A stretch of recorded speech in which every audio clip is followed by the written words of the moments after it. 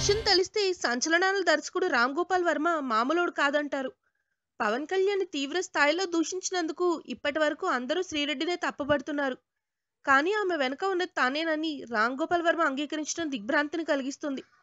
Casting కోచ్కి వ్యతిరేకంగా శ్రీరెడ్డి చేస్తున్న ఉద్యమం ప్రజల్లోకి చొచ్చుకుని వెళ్ళాలంటే ఎవరో ఒక ప్రముఖుడిని తీవ్రంగా విమర్శించాలని తాను శ్రీరెడ్డికి సూచించినట్టు వర్మ ఒప్పుకున్నారు.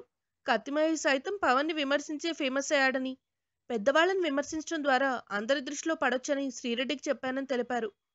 ఒకప్పుడు పవన్ కేసీఆర్ ఎన్నోసార్లు విమర్శలు ప్రతి విమర్శలు చేసుకుని కూడా ఇద్దరూ కలిసి కూర్చుని భోజనం చేసిన విషయాన్ని వర్మ ఈ సందర్భంగా ప్రస్తావించారు. రాజకీయ నేతలు చేసే పనే తాను శ్రీరెడ్డిని చేయమని చెప్పానని ఆమె వ్యాఖ్యలకు తానే పూర్తి బాధ్యత అని వర్మ చెప్పారు.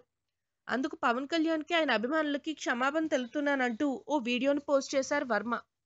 అంతేకాదు దగ్గుబాటు వారసుడు అభిరహం విషయంలో తాను రాజీ చేస్తానని శ్రీరెడ్డికి చెప్తే ఆమె అంగీకరించలేదని వెల్లడించారు.